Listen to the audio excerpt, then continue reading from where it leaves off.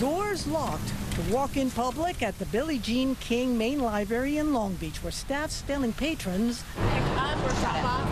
We can grab those for you. to go service, where you call ahead and they hand your stuff over at the door. We've had to temporarily close the library to in person visits to protect both patrons and our city employees. There are a lot of mentally ill who take up residency here during the day. I've been attacked three times upstairs. In the library. Yes, I had one man throw things at me.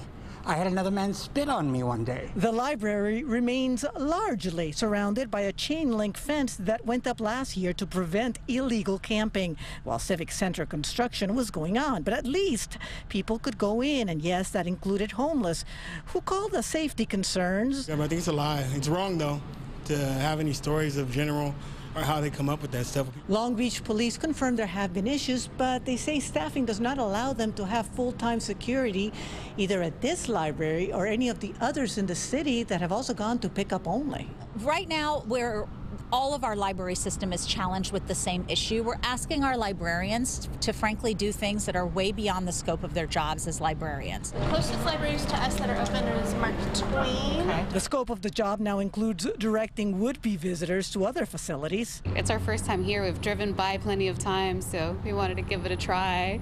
And yeah, They came from Compton. This mom, trying to explain to her daughter why they couldn't go in, just moved to Long Beach. just bought a house. I am raising a small child. Super disappointing. it's a free public space. We expect it to be open and available for homeless or not homeless. In Long Beach, I'm Christina Gonzalez, Fox 11 News.